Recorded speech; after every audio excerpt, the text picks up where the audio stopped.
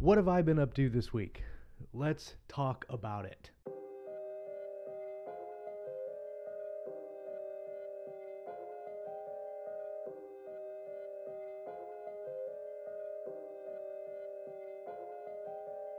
Hey, what's up, everybody? I'm Josh Hayes, and welcome back to my second update video, vlog, newsletter, whatever you want to call it. Let's call it a vlog. Sounds better than a newsletter. If you are subscribed to the newsletter, however, you get this like a week early. So if you're interested in all that, subscribe. Go to joshhayeswriter.com and click on the little uh, newsletter button, and you'll be able to subscribe that way. I think I might be doing some giveaways here maybe next month. I've got uh, some books, some CDs. Well, we'll see. Just go subscribe we'll figure something out. Speaking about books, and last week we talked about um, the Valiant series that I'm planning on doing, which is a follow on to my Terra Nova uh, series that I wrote with Richard Fox. I just got the hardcover editions of the new branded covers. So before we didn't have the uh, Ember War branding on uh, the book. So here's the the it's out of order. Mine goes right there whatever. So we have uh, all four books and the new cover with new branding. So it's got the Ember War uh, cover right there. I, I have to say I, am I'm, I'm conflicted because I think uh, Bloodlines is my favorite cover cover because that's how I envision the Valiant looking. Uh, so it'll be interesting when, when we start working on the Valiant covers if we can capture that type of ship in the cover. What have we been doing? I've got a list all right, let's uh, let's look at the list. What have we been doing? We finished the outline for Tranquility 2. I think that outline reached about 14,000 words. I'm doing a little uh, bit of a reread through uh, Devin's initial draft of the first couple of chapters. I think he wrote about 20,000 words in the first draft, and so I'm kind of going back and making sure that all of that lines up with the outline uh, and then lines up with stuff that we have planned uh, throughout the book. So I finished that outline as soon, hopefully this weekend, I'll be able to finish that read through. Uh, I'll polish up the outline just a little bit. I'll get that sent over to Devin. Uh, and he'll start drafting book two. Before we move on, I talked about my journaling last time. I decided to get a uh, hardcover, a hardcover, a paper calendar. I've been kind of documenting my week, like what I want to get done. Uh, instead of looking at the whole week and going, this is a lot of work that I need to get done. I've, I've kind of just divvied up. Divvied. I'm a writer. I'm not a I'm not I'm not a talker. I'm a writer. Divvied it up over the course of the week and this way I can look and see what I need to get done, what I can do on specific days. It helps me out a little bit.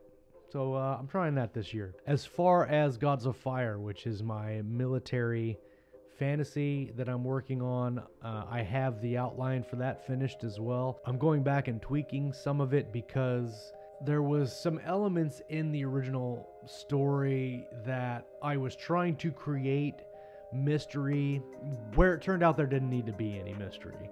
Uh, it's it's like one of those things where uh, you have instances in books where some side characters know the big mystery, but they're not telling the main character, and therefore they're not telling the reader what that is. And so it's keeping the reader in suspense, uh, which I think is a really cheap um, way to keep the reader in suspense. If the main, if the side characters know it and the main character needs to know it, it's like they should they should just tell them. I mean, they sh- they should tell them. That's kind of a really cheap trick. And so basically, what I discovered over the last couple of days of working on the outline is I don't need that that particular mystery. We can have the information. The mystery kind of revolved around the geography of the world and what our characters know about the geography and the landmarks and where the enemy strongholds are and things like that.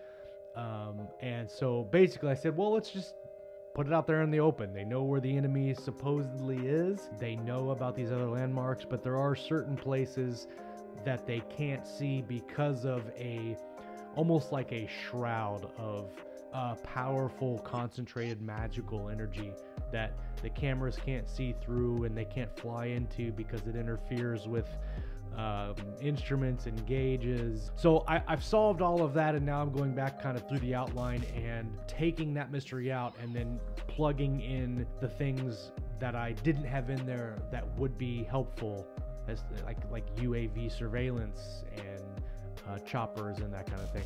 The other thing I did was I changed one of the characters in the book from being um, a troll to being a human, which sounds weird, but that kind of created some really cool lore. And I worked on this ancient, call him a warlock, um, that was kind of pivotal to the past of this world and, and contributed to the creation or the uh, existence of these portals and whatnot. And uh, that created a whole bunch of lore and I had a really fun time last week kind of working through all of that. I think it's going to be really cool. The the lore surrounding the world is really neat and the way that the characters are going to progress through that I think is really interesting. Also this week we we started doing these uh, keystroke medium minutes which are kind of short snippets from our interviews and after our episode with uh, Michael Rothman this last Monday I went back and found uh, a little snippet of our conversation and clip that out and kind of edited it down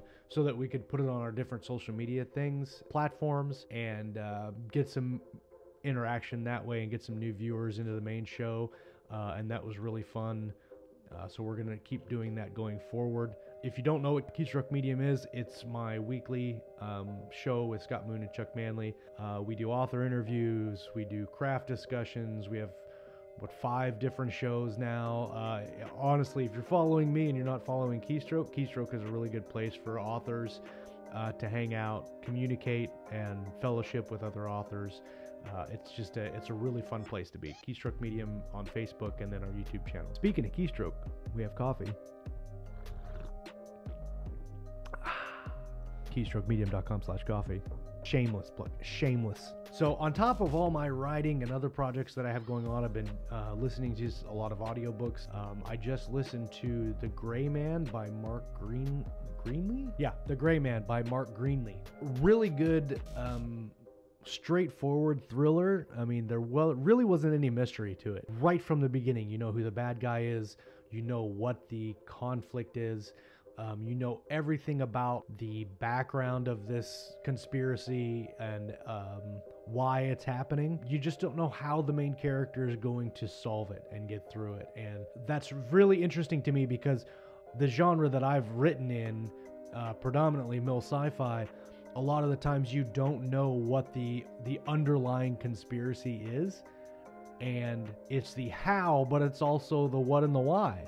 Um, and with the Gray Man, you know all of the uh, what and the why. You just don't know the how. How is the main character going to solve his problem? And there was also uh, a little bit of POV uh, things that they did. Some really interesting kind of uh, cut characters. And what I mean, what I mean by that is, what I'm used to reading and writing is your POV characters are main characters in the book, and you're going to get multiple POVs from that character. There's a lot of characters that are created just for the necessity or just for the sake of of suspense where they'll they'll cut to a tertiary character to provide some suspense in a scene where they like the author doesn't want you to know if let, let's just say for an example they don't want you to know that the main character has survived and they want that kind of uh, surprise. So they, they cut to a tertiary character where the tertiary character,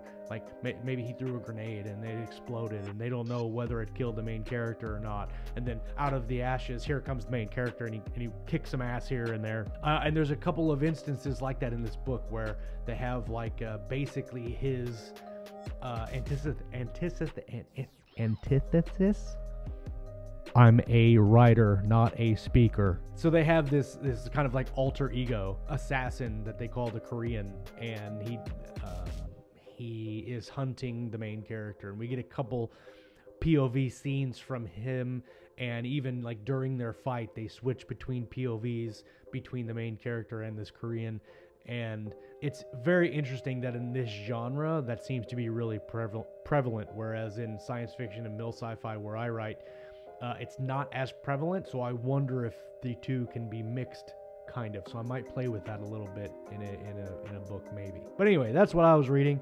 Uh, this week. Very good book, I think, The Gray Man. Next up on my audiobook list is Winds of War, which is the second book in the Buried Goddess saga by Steve slash Jamie Castle and Rep Bruno. Uh, the first book was really good, and so now I'm moving on to the second one. I'm going to read that next. But I think that's pretty much all I had to update this week. Thank you all for subscribing and following me. Like I said, maybe in the next couple of weeks we'll do some kind of a giveaway, either uh, some books. Uh, or uh, some audio books. I've got some uh, audio CDs back there. I think they're technically MP3s, but they're hardcover. Maybe I'll do some signed editions if you guys are interested in that. Uh, but that's it. Thank you guys for coming and checking me out and, and being interested in what I have to say. I, I really like this format. You can follow my other social media uh, Instagram, Facebook. That's where I'm at. That's where I'm usually more active at. Until next time, happy reading.